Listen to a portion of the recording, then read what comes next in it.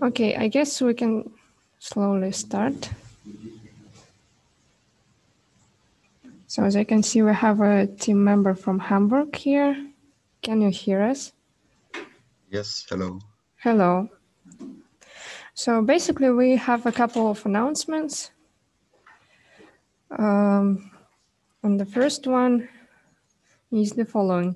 Uh, you can uh, submit problems uh, that use uh, some other problems you didn't submit yet. For example, uh, if you look uh, at a PDF file, there is a problem 22M. And actually, it depends on problem 23 and, uh, well, lemma 2. But if you didn't yet solve um, problem 23 or didn't yet prove lemma 2, you still can submit uh, problem 22m. Just write explicitly that you're using these two facts and you didn't prove them yet. That, that's okay. So that's our first announcement. The second one, uh, some of our problems use um, conjecture, some conjectures from calculus. And well, again, for example, uh, well, let's say you have, well, it's x-axis and y-axis, and you have f, which is continuous function. Uh, and you know that at point A, f or fa is uh, less than zero, and at point B, well, f at B, f of B is greater than zero. Uh, then there is some point, well, let's call it C, on uh, our line segment from A to B, where f is equals to zero. So you need to connect this point and this point. And somewhere on this line segment, there will be an intersection. So there is a couple conjectures like this, which are used uh, in our solutions, and you don't have to prove them. You can just use it as a given. um, Okay, that was the second announcement. Uh, the third one is the following. Uh, please submit your solutions or maybe even ideas of solutions as soon as possible. So it would be easier for everybody. Uh, probably if you have some idea, we can give you some comments on it and it will well, easier way to solve these problems. So please try not to wait until the very deadline.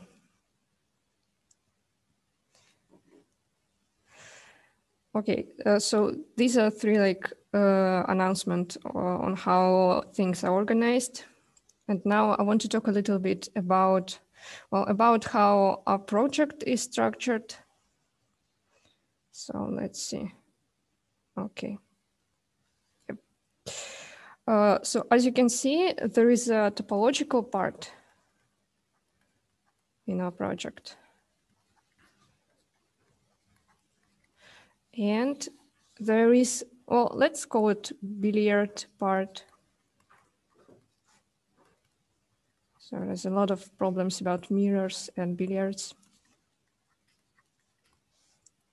And in topological part, uh, the two main problems are uh, let's see, 20 M and 22 M.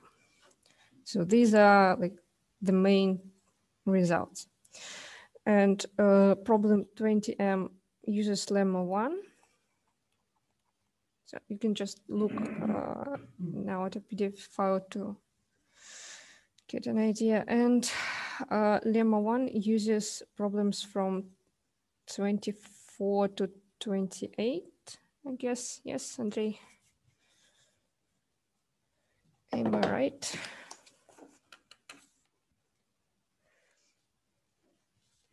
Uh, and problem 22 uses two lemmas, two and three.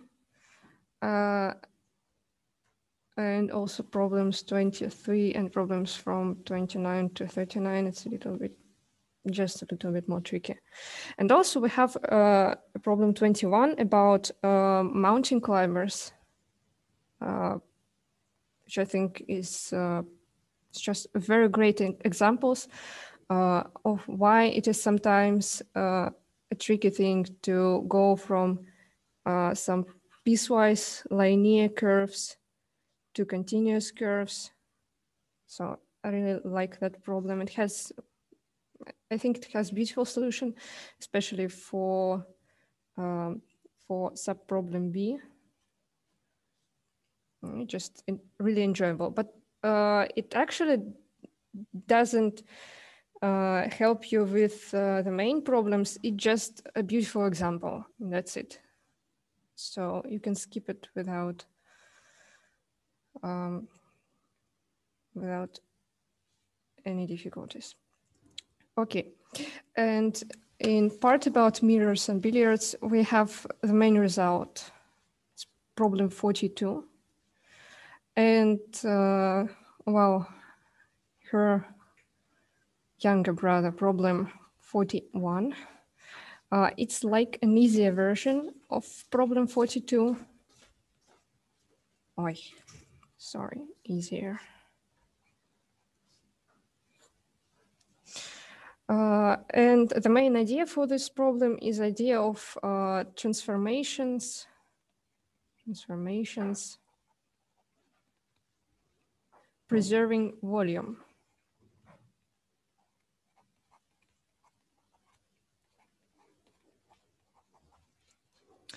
Uh, and this idea is uh, shown on another examples in problem, let me see, problem 46, of course, and then problem 50. And uh, yet we have two uh, more subsections. It's, it's about outer, okay, let me write it more clear, outer and interior billiards. Uh, it doesn't have much connection with problem 42M, although it uses some of the same ideas. And uh, one of the main results is problem 51M. So as you can see, both of these parts are quite large. So you I think you should choose just one of them uh, and concentrate all your mental efforts uh, on the chosen part. So uh, can I ask, did, did you already choose something? Uh, yes, uh, we choose billiard part. Oh, great. Yeah, that's very nice. So actually, uh, this problem 42M was solved like recently. I think Andre can tell more precisely. I don't know actually. Yeah, it was solved not so long ago, I guess in, in this century, at least. But uh, its solution is accessible for students, so please don't be scared away by my comment. Okay. And actually, um, I wanted to give you some comments uh, on topological part, uh, but uh, since you chose uh, billiard part, are you interested in such a comment or I can skip it? Um, I don't know. Maybe it is useful for them to watch it on YouTube. Yeah, it's a good point. So actually, the thing I wanted to say uh, is about uh, Jordan's lemma. So at some point in a topological part, you have to prove, uh, well, a very intuitionally understandable uh, conjecture. So if you have a square and two curves connecting at opposite angles, so this, this is curve number one, and this is curve number two. The thing you have to prove is that these curves intersect. So for example, here is a point of intersection in red. So as you may see, I guess uh, any kindergarten kid will agree that this conjecture is indeed true. Uh, but if you think about it a little bit, uh, it actually becomes scarier and scarier because, uh, okay, you have some continuous curves in the plane. And well, uh, as uh, Descartes said, uh, this continuous, the points in the plane correspond to pairs of real numbers.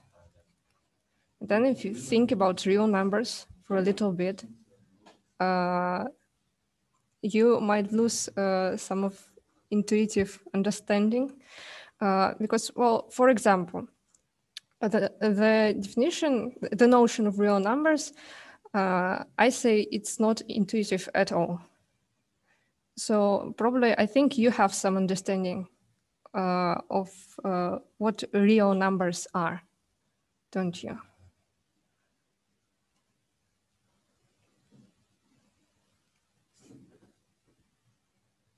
So usually uh, students say something, it's, it's point.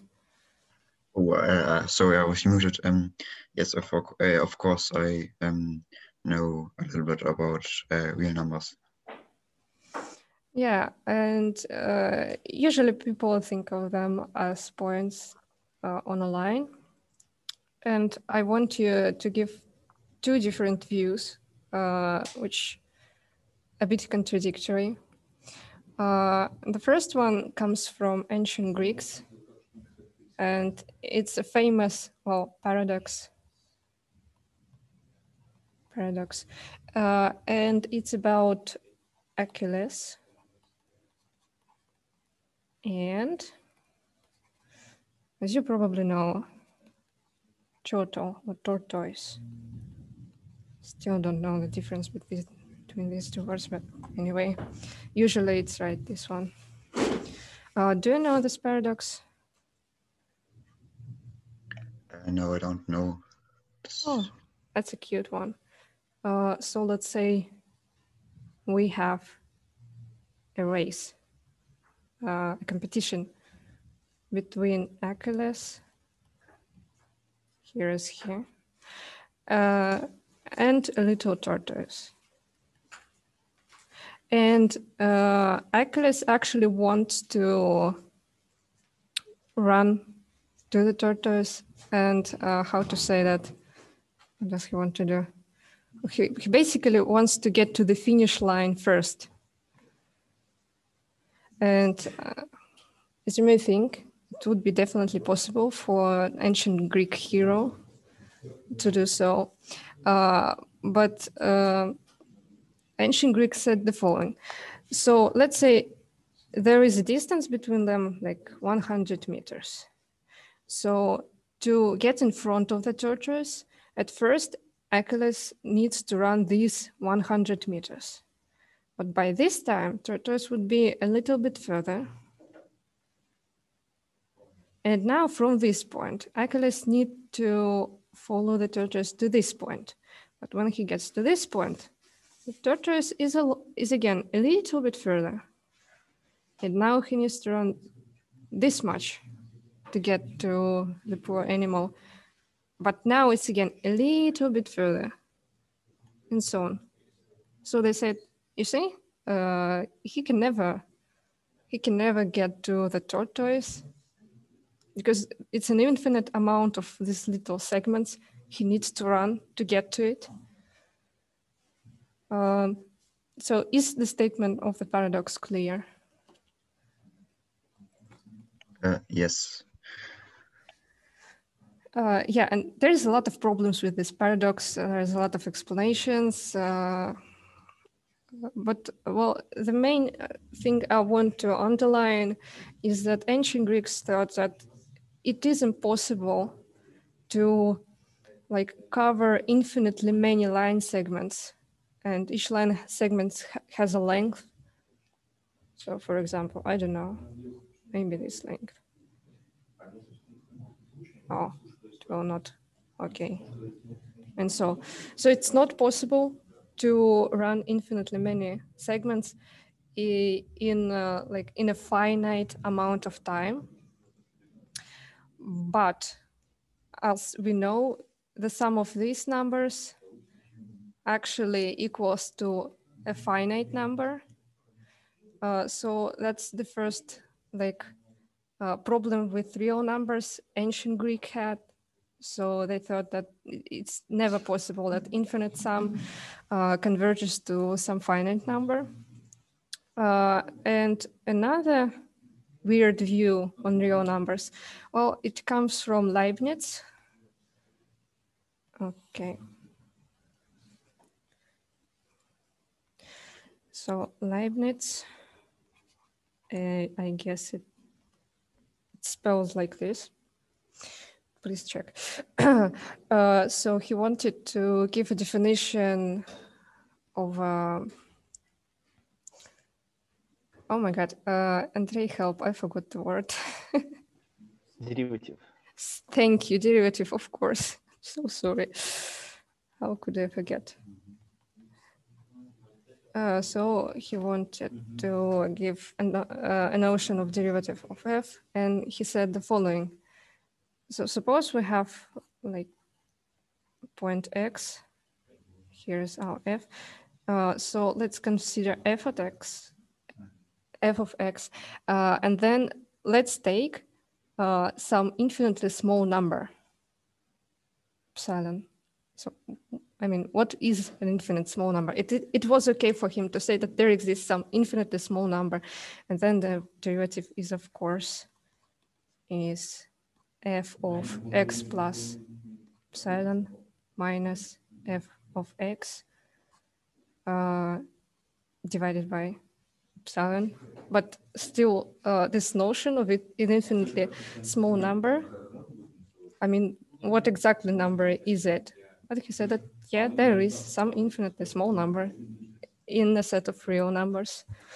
So here you have like a second, uh, a bit paradoxical view on the real numbers. And so to, um, to deal with these uh, views, mathematicians decided that uh, they assume there is a set of axioms, which I believe to be true, and the rest of math needs to be deduced from this set of axioms. So uh, going back to our Jordan lemma, so it converts to thinking about real numbers uh, and uh, continuous mappings.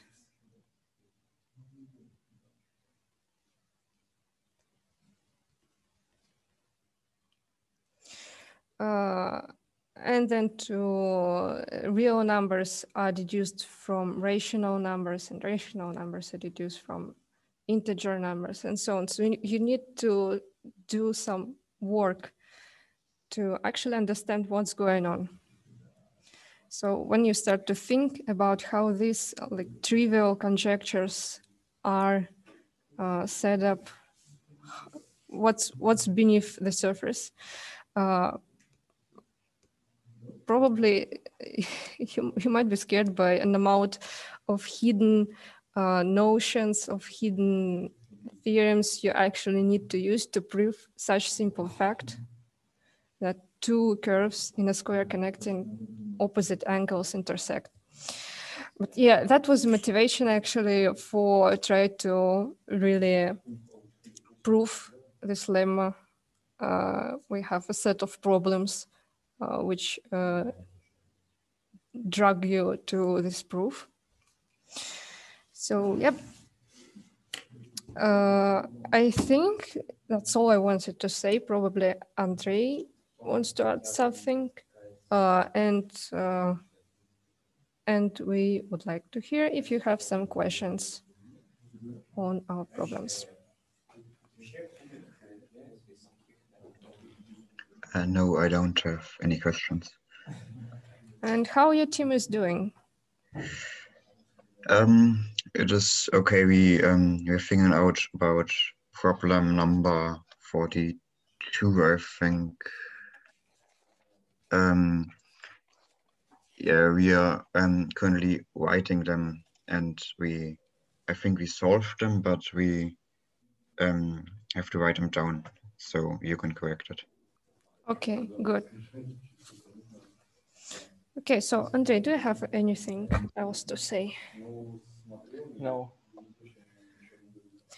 So, okay, uh, yeah, if you don't have any questions, then probably we can, uh, what? I forgot the word again. Sorry. we can finish. Yes, we can finish. And it was nice to hear you. Okay, bye.